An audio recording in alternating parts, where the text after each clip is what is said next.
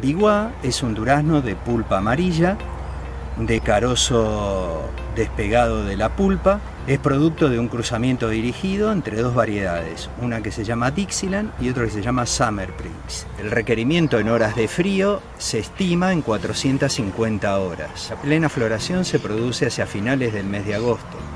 La época de cosecha se inicia entre el 5 y el 10 de diciembre. El peso promedio de la fruta eh, se encuentra alrededor de 170 gramos.